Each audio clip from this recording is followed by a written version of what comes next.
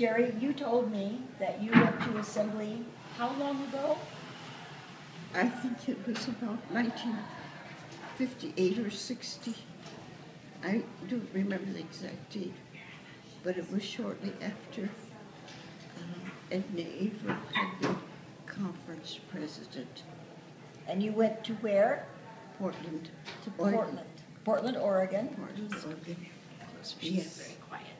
And you said that you were a charter member of, The WSCS in uh, 1940. in 1940. Yes. And tell me about the time you went to Africa.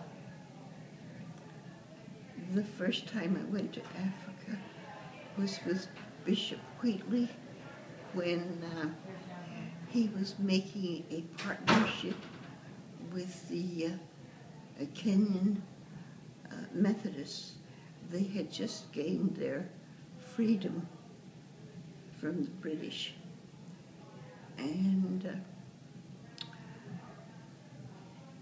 we visited with Bishop E. Matthew and were guests in his home and saw the work that the Methodists were doing at that time. And tell me, Assembly will be in April of 2014, and how old will you be in June of 2014? 100 years. 100 This is our Gerry Paulus, of whom we are very proud, and we are talking to her today at a district meeting. And she has come two days' travel to get here to a district meeting in Montana, in the western part of our state.